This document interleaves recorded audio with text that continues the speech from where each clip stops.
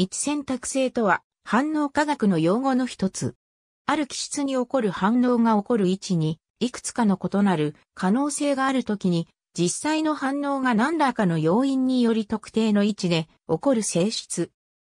反応中間体や繊維状態の安定性の違いが一選択性に反映され、その違いは立体的な要因、電気的な要因、非共有結合性相互作用、溶媒の関与、共鳴や超強薬、電子軌道の形や電子密度、試薬の投量など様々な要因に由来する。一選択性の高い反応を一選択的であるといい、特に高い場合は一特異的であるという。以下、代表例を示す。各例の詳細は各記事を参照。複数の原子からなる吸核剤には旧電子剤との反応点を複数持つものがある。そのような吸核剤はアンビデント吸核剤と呼ばれる。これらが旧電子剤と反応するときに一選択性が現れる。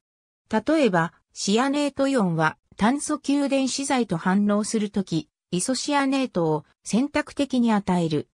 亜硝酸イオンやスルフィン酸イオンは、気質や反応系の違いにより反応位置が異なる。アセチルアセチル化合物 CH2CR は、1等量の塩基を作用させると活性メチレン V で、ある CH2 からプロトンが引き抜かれて、カルバニョンが発生し、旧電子剤で補足すると、内部炭素の置換性生物が得られる。一方、二等量の強塩基を作用させると、メチル元からもプロトンが引き抜かれて、ジアニオンが発生する。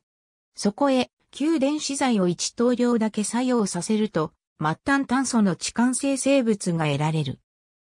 アルケンにハロゲン化水素が孵化するときに、水素はより多くの水素が結合している炭素状に結合する。この一選択性の規則は発見者の名を取って、マルコフニコフ則と呼ばれる。カルボカチオン中間体の安定性の差に由来する。アルケンに対するヒドロホ素化やラジカル負荷など、カルボカチオン中間体を経ない反応は、立体的な要因や超強薬によりマルコフニコフ、則と逆の選択性を示すことがある。このような反応を逆、マルコフニコフ的であるという。アルファ、ベータ不飽和ケトンに吸核剤が孵化するとき、吸核剤の硬さ、柔らかさにより1、2負荷と1、4負荷に選択性が現れる。有機リチウム化合物など硬い吸核剤は1、2負荷生成物を、ギルマン試薬など柔らかい吸核剤は1、4負荷生成物を与える。1、4負荷反応はマイケル負荷とも呼ばれる。置換ベンゼンに旧電子剤を作用させて方向属旧電子置換反応を起こすとき、置換器 R の電気的な性質により反応位置に違いが生じる。R が電子供与器の時はオルトくらい、パライが R が電子吸引き元の時はメタイが選択的に置換される。前者がオルトマイナスパラ配構性、後者がメタ配構性である。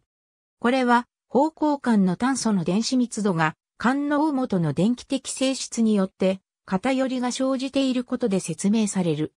さらにオルトくらいの置換反応は立体障害や官能元との相互作用によって影響を受ける。